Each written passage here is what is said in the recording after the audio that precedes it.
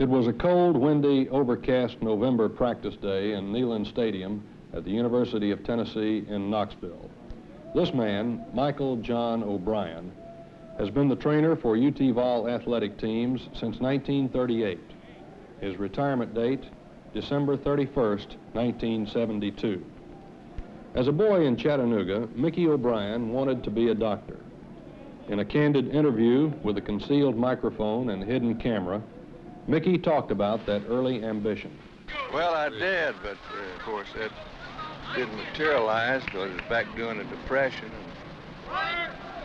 And I, of course, wasn't, any, wasn't too many people had anything in. And you found a great deal of satisfaction in all this. Huh? Oh yeah, I yeah, sure, sure. I would, you know, I would think that associating with athletes, uh, coaches, this the type of people that are in this game probably would be one of, one of the greatest satisfaction anybody could get. Yeah, I've enjoyed it very much. Of course, it, you know, it, uh, experience, great experience. Of course, I like to work with, with kids. The kids will be the one I'll miss. Hey, how you doing? What, uh, Thinking of snow? Let me, uh, excuse me. Retired Alabama football coach Harold Red Drew coached at the University of Chattanooga when Mickey was a trainer there in the early 1930s.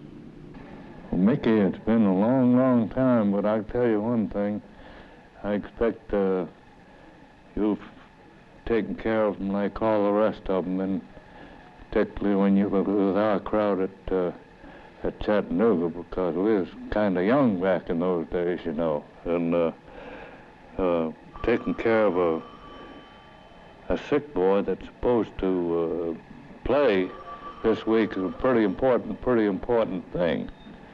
Of course, we had some of those old rowdy boys that uh, we had at Chattanooga there. You uh, didn't uh, you didn't need to fix up them up very very much because they were too tough to start with. but uh, we had some great times uh, when you were there, and we had some we had some good athletes too.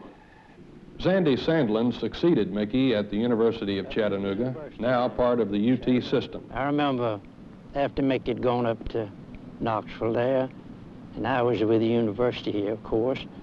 I went up to see Scrappy one day, and I says, uh, Scrappy, you know, it's Coach Moore. Yeah. And I says, uh, Coach, I don't have any tape remove anything. Said, use the same thing that Mickey used. I said, well, I don't know where, where it is. And he came down and found it hid off there, and I used on this young man. Next day, the guy come down and his leg was all red and hot and burning up, and he said, what'd you use on me? I says, I don't know. And, and about five minutes later, the painter said, you used my paint remover. Gosh. and Scrappy thought he had to make his tape remover, his paint remover. It had tape on it. I didn't want to hear that.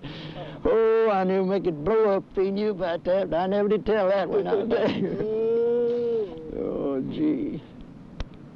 Dr. Robert Brashear, longtime team physician for the Vols, remembers when Mickey arrived in Knoxville. Well, as I remember, this was a very handsome, young, uh, black-headed Irishman who uh, was highly recommended to uh, Coach Neyland and all of us. Having had uh, background experience in uh, high school and college athletics at the University of Chattanooga and also in professional baseball with uh, Scrappy Moore's uh, baseball team. And we found out immediately that he was capable and competent of uh, taking care of ath athletes and athletic injuries, diets, uh, well-informed and studied hard and improved himself from year to year as he went along. He, he finally became one of the outstanding trainers of the country and has really been uh, complimented by the greats. John Mauer came to Tennessee as head basketball coach a few months after Mickey's arrival. I came here in, in the fall of 38, in October, and Mickey came in the previous spring. And so I inherited a basketball team here from Blair Gullion didn't know anybody hard, and coming in in October was a pretty big proposition. Those boys had lost a coach that they thought a lot of, and I was a stranger, and I was having a tough time making the adjustment to get acquainted with them. And if it hadn't been for Mickey, I don't know what I'd have done. He was a great man, and I had him all the time that I coached here in basketball. He worked real close with me took care of a lot of things that were difficult for a coach to handle and, and handled them beautifully. And the relationship between me and the boys was helped a great bit by what he would do. I mean, he'd just handle your problem. He'd make them uh, see what your viewpoints were and tell you what's what. And, just, well, I, I don't believe there's a better man in the country than Mickey O'Brien was as far as, as handling conditioning and handling your boys and working with. He helped me tremendously. We had a real close relationship, a real wonderful one. The man who brought Mickey O'Brien to the University of Tennessee was the late General Robert R. Neyland. It was an association of friendship and mutual respect. He's a great organizer, he's a great, a great psychologist, and a terrific worker. He really worked. What's Bill's strength as a coach? What's well, his strong point? He, uh, he's been he's been around and seen different, you know. Of course, he uh, he was with the Army, he was at Oklahoma. He's smart, observant. Tell you one thing, he was a hell of a good coach.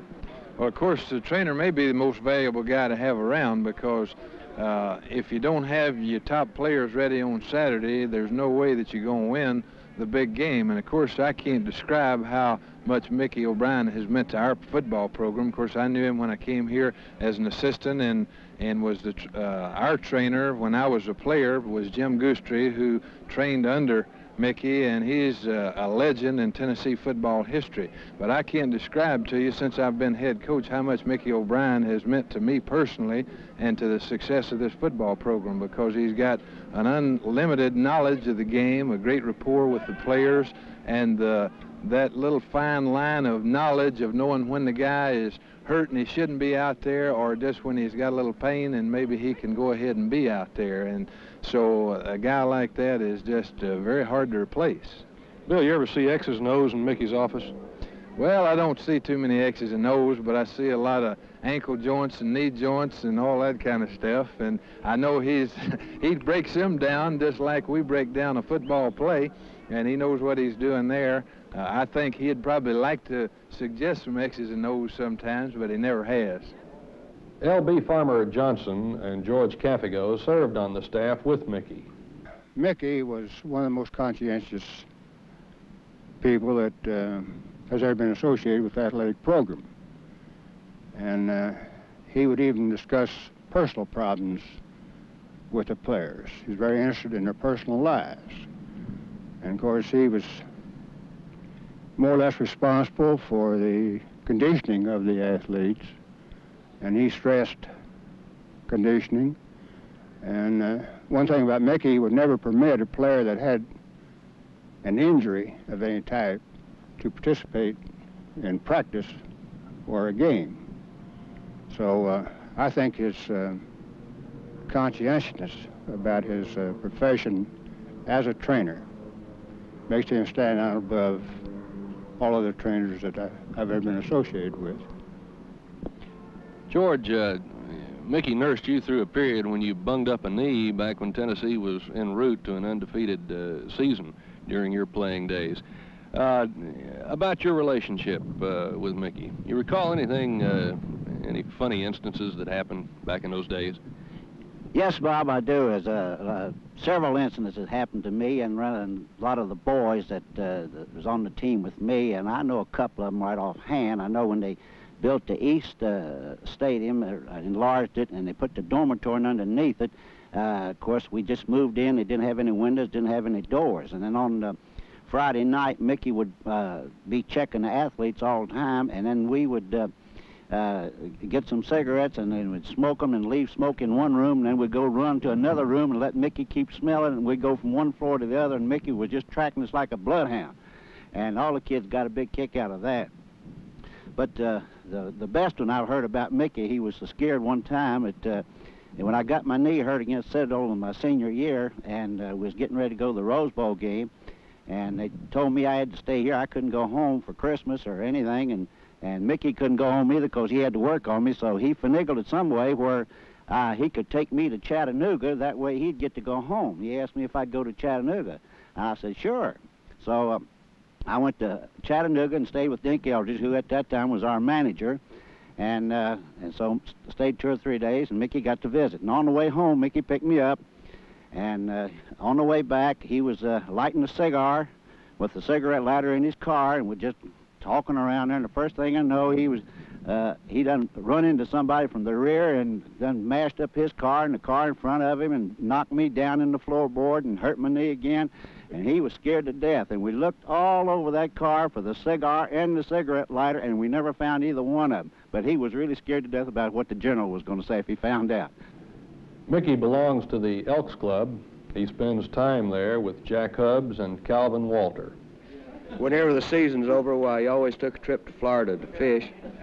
I think General Neyland gave him most of his fishing equipment, and he was very proud of that, and loved to saltwater fish and loved to eat fish and was always asking any of the people that went fishing to be sure to bring him some back. One other thing there, Calvin, you might add, every time he'd go fishing, saltwater fishing, he always brought a bunch of it back here to the Elks Club to put in the freezer, and we'd have a fish fry downstairs on some uh, evening that he was free on. And then we'd have a big platter of fish down there. It was fish that he caught. And he, he did himself proud bringing it, bringing it around the club and letting the, fella, the fellas eat the fish with him. Mickey met Mary after a basketball game in 1941. Soon they were married. One day each week is a day for Mickey and Mary at the Elks Club. It's been a tradition with him. I don't know how many years this has been going on, but I do know that she meets him down here on a Wednesday night for dinner. And they've got the same table in the dining room, which is back over in the corner. And uh, nobody bothers that table on Wednesday night because they figure Mickey's going to be here and they leave it open for Mickey and Mary. Well, he, he likes uh, Italian spaghetti. An Irishman and Italian spaghetti? Yes, he does. And Hungarian goulash and dishes like that. Does he cook? No, no, he doesn't. Not any. you think Mary's looking forward to having you home more? Uh, that'd be hard to answer. Like the guy that uh, guy that retired. What you gonna do? Well, wife. My wife said she she married me, but but not for lunch.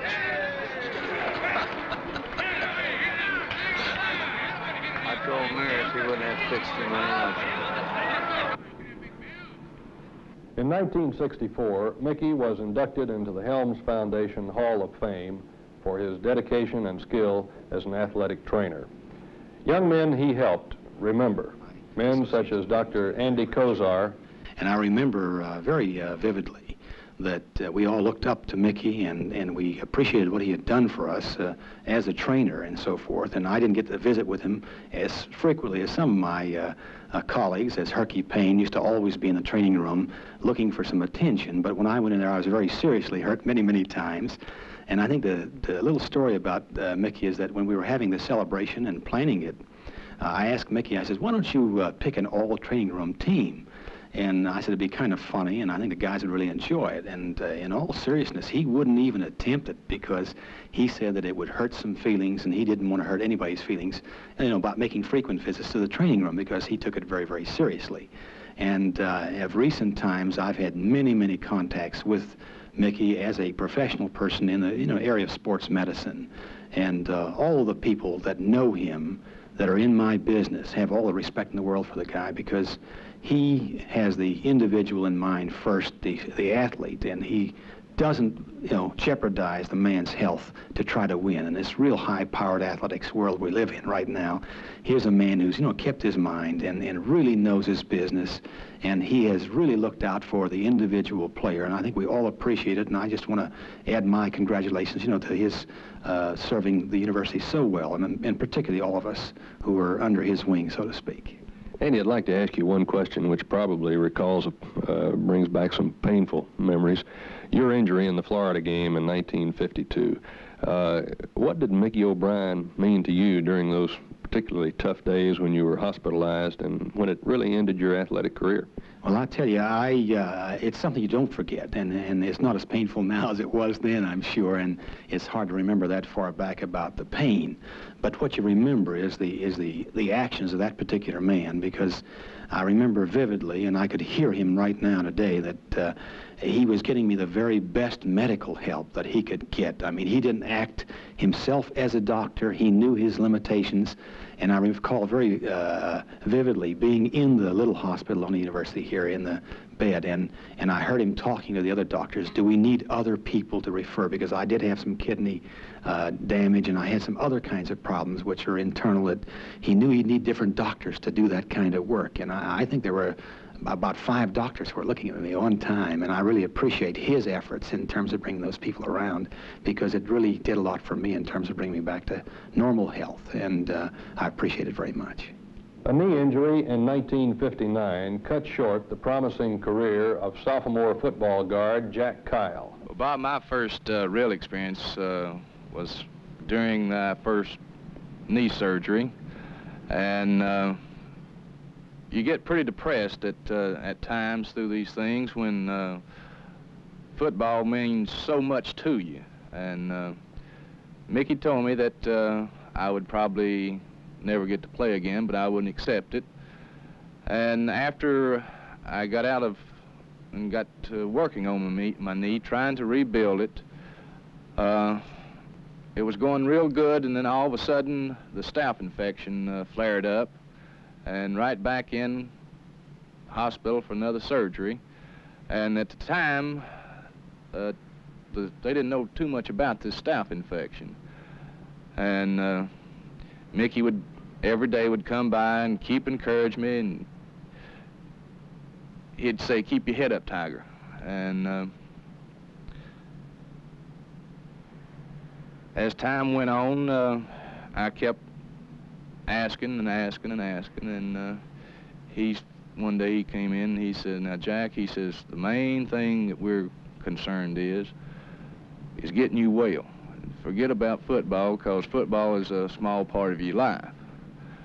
And that was my first real encounter with Mickey, and through the other surgeries, uh, he's he was just like well, you'd say a brother. He was, he was out there with you all the time, real concerned, and he's not only a tremendous trainer, but he is a tremendous person. And he's meant so much to so many uh, athletes that's been here at Tennessee through the years, and uh, he's going to be missed greatly. Since 1967, the Vol football player who best exemplifies the courage and determination to overcome physical obstacles receives the Mickey O'Brien Award. Tommy Bennett won it in 1971. Well, I'd say he's probably the main factor that kept me here at UT, kept me well, man. He, uh, he meant a lot because uh, when I was a, a sophomore and I dislocated my shoulder the first time, I was kind of really not wanting to play anymore and kind of afraid to get back out there, and he told me that I'd have to, you know, and he helped me through the hard part. And then when I dislocated again in the last game of the season, he uh, he really meant a lot to me at the time that everybody was at the bowl game and I had to uh, stay in the hospital. He came to see me and he, he took care of me along with T.K. Wall. And uh, then all through the next year when I was hurt with my back and so many other things that he's just been a really inspirational force. And uh, I just hope that uh, I can do something for somebody one day that uh, will mean as much to them as he did to me. I know when, when I was a sophomore, that's when I was a rebellious kid there. He, uh, he'd tell me to stay in my room when I was hurt or something like this, and I'd kind of wander out and take my phone off the hook where he couldn't call me.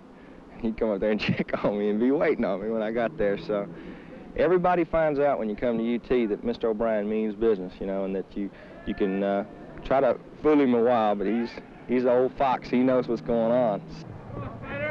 During, during the course of the game, do you do you actually follow the action, or are you so busy that, that you? No, really I try to follow the action on the, on the field and get a picture of, of the guy when he gets hit and whatnot. when the 11 men are out there, are you looking for signs that a, that a kid might might be hurt? Oh yeah, you look at the guy when he gets hit, and you look at the, uh, I mean, the defensive back when he makes, you know, makes a tackle. Course, sometimes the view won't be as good. There'll be too many people in your way, but you can always ring up upstairs and ask about, you know, if you don't get a good picture of it. You never did tell me what your biggest thrill was. Well, I, I've had quite a few. Of course, going to, you know, three bowl games back to back whenever I first was here, that was, you know, a great thrill. Orange Bowl, Rose Bowl, Sugar Bowl. They were undefeated in those seasons. One of them was undefeated and scored on. 39. Vol Athletic Director Bob Woodruff has known Mickey for 35 years. Well, Bob, I think the uh, one of the greatest things about Mickey O'Brien, and, and I think uh, Johnny Mauer agree with me, and, and all players that have played here at Tennessee, had an old saying, you know, that they're either for us or against us.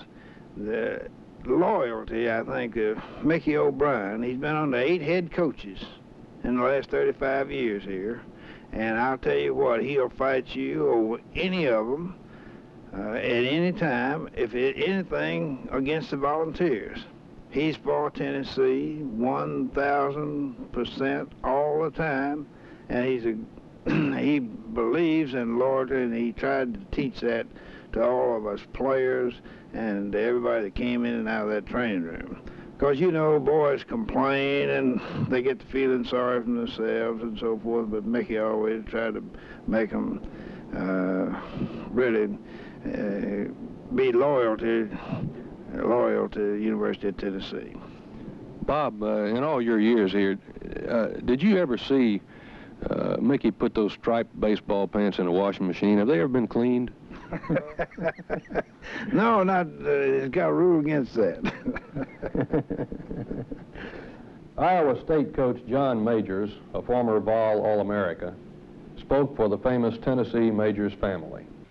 Mickey, you old rascal, you hell, I don't know whether you deserve that or not. No, you're great. Yeah, I tell you what, I've never met a person and I thought that that we as a family, Bill and Bob and I and my dad and mother, thought more of than Mickey O'Brien. He's been a great deal to me and the entire Majors family.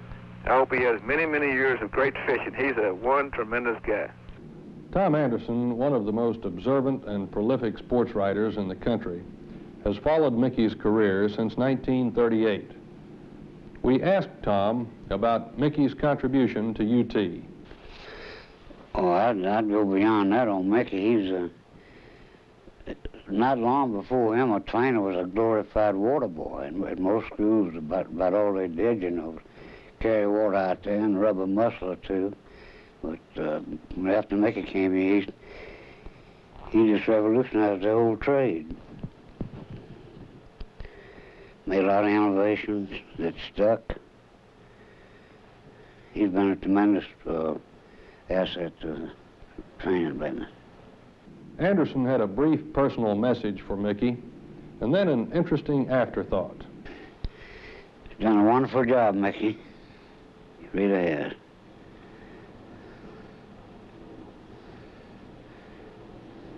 One thing you don't hear too much about Mickey is, but, but he is an excellent judge of football players. I used to get as much information as him for just from the coaches about the possibilities, you know, of new players and what they could do and what they couldn't do and things like that. Judge of talent? Of talent, yeah. After they after they were already on the hill? Yeah. Well, he, uh, Mickey recruited in person the, the greatest potential athlete, or one of the greatest they've ever had over here. That was a guy named Tommy O'Brien, an Anniston boy. Uh, Alabama just about had him sold up, and Neyland thought he'd, he'd use a little psychology.